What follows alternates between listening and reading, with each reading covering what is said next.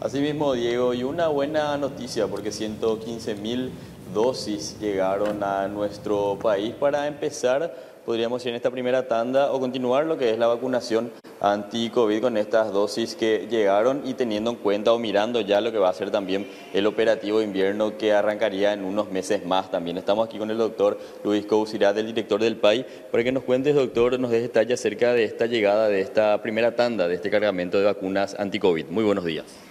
Muy buenos días. Asimismo, llega un primer lote de vacunas. Estamos hablando de 115.200 dosis de vacuna moderna. Ya una composición actualizada para la temporada 2024, 100% Omicron XBB 1.5. Y con esto seríamos uno de los primeros países acá de la región en contar con esta vacuna composición actualizada. Estamos hablando de que esta vacuna tiene una efectividad sobre la variante que hoy en día están en circulación. Entonces, instamos a toda la población que es grupo de riesgo, 60 años y más, embarazada a partir de las 20 semanas, el personal de salud, el 100% del personal de salud que está en atención directa de estos pacientes y la población de los seis meses en adelante con factores de riesgo hoy en día es nuestra población objetivo para estas dosis. La gente, o sea, en, en general ya puede aplicarse ya esta vacuna, no hace falta esperar algún plazo, doctor. Asimismo, hoy en día eh, la vacuna van a estar ya disponible a toda población que demande su aplicación. Estamos hablando de una administración anual de la vacuna muy similar a lo que es la campaña influenza.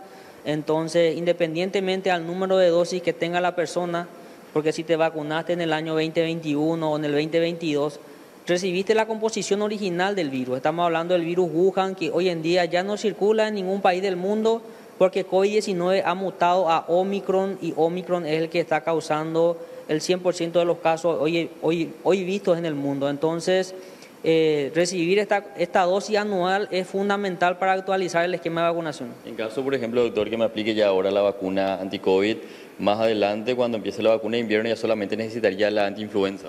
Así mismo, si hoy recibís vacunas COVID, Después solamente te quedaría la vacuna influenza, incluso vamos a tener la vacuna Neumo 23 también para la población objetivo y, eh, o incluso puedes administrarte ambas vacunas en forma simultánea. En un brazo va COVID y en el otro brazo va la vacuna influenza. Eso sería un poco más adelante lo que es la campaña de vacunación. ¿En cuándo más o menos empezarían con ello, doctor?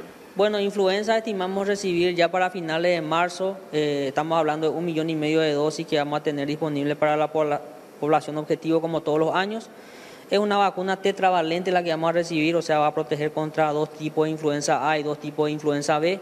Y es una vacuna muy solicitada y justamente con muy buena salida en el país. Muchísimas gracias, doctor. Entonces allí, pues Diego Leti con los detalles. Esta buena noticia con la llegada de estas más de 115 mil dosis de vacunas anti-COVID ya disponibles para la población que quiera acercarse ya.